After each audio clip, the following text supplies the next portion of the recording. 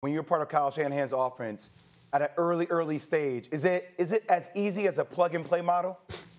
You're, you're telling me I can just plug it's, it in? It's one read, and it just it just it, it's going to work regardless of the level of the competition. Okay, like, okay. First of all, let's go ahead and knock that out. It's not one read. Stop disrespecting that. First of all, don't disrespect okay, one and a half. quarterbacks in Kyle Shanahan's system See, this is what by guys saying it's a one-read system. It's not at all. And Jay, it's not a plug-and-play type of situation because the offense they're going to run with Trey Lance is completely different than the offense they ran with Jimmy Garoppolo. It will be more run-based. There will be more design quarterback runs in those situations, but it's going to add a dynamicness to their offense that you know with Jimmy G, if the play is there, he's going to make it. But if it's not there, he's throwing the ball away or throwing it to the other team. With Trey Lance, he's going to be able to make plays with his legs. The dynamicness of that second reaction play, the one that the coach didn't know was there, and that's going to make Kyle Shanahan better because now he's going to be calling plays that he knows are there, and when it's not, he's going to have to trust Trey Lance is going to make the right plays with the ball. RG3, I know you are the expert in this category, so I'm asking you once again. Yeah, not, not as a quarterback, Bart. That's not you.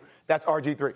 Isn't there, would I be remiss to think that there's a learning curve that comes along with being a quarterback and making those reads in those kind of situations? Because everybody has a plan. Mike Tyson used to always say this until they get punched in the mouth. So I hear how the dynamic is different than what it would be with Jimmy G. But let's not be remiss about the learning curve that is going to take place for Trey Lance to get that offense to a point where it feels like it can make the extra plays to be an additive product to the defense, right? Is that not fair? No, no, Jay, that, that is completely fair. There is going to be a learning curve for Trey Lance, but the only way that he's going to be able to get on or off of that curve is to go out and play the game.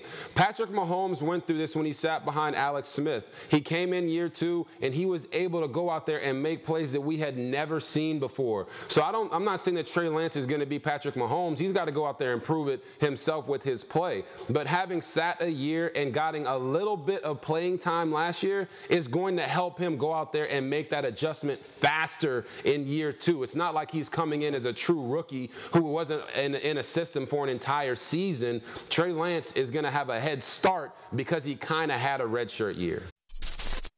Thanks for watching ESPN on YouTube. For live streaming sports and premium content, subscribe to ESPN Plus.